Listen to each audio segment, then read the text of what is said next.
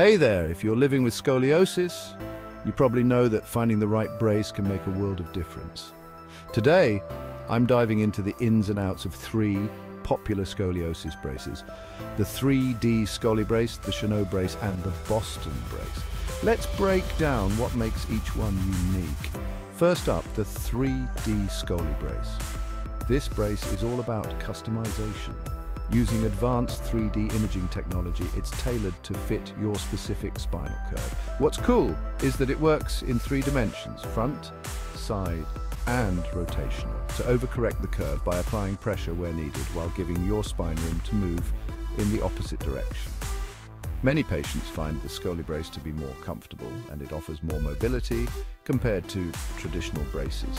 Plus it's sleek and form-fitting, which is a big plus if you're concerned about how it looks under your clothes.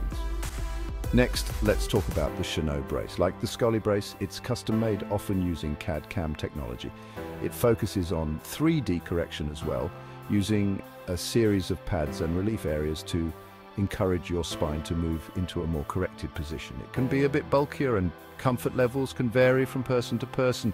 In terms of aesthetics, it's generally not as sleek as the ScoliBrace. Finally, we have the Boston brace.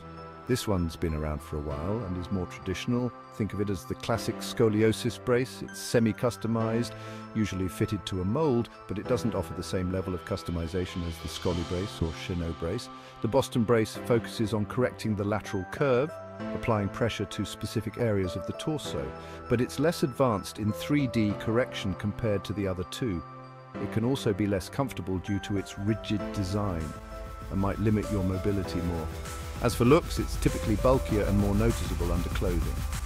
So to sum it up, the ScoliBrace stands out with its advanced 3D customization and sleek design, potentially offering more comfort. The Chêneau brace also provides some 3D correction, but may not be as sleek or as comfortable. The Boston brace, although widely used, is less customized, more rigid and antiquated technology with questionable effectiveness. If you've got, say, a 20 degree curve, the ScoliBrace might offer more comfort and aesthetic appeal. But always consult with your scoliosis doctor to find what works best for your body and treatment plan. This has been brought to you by Bethesda Spine and Posture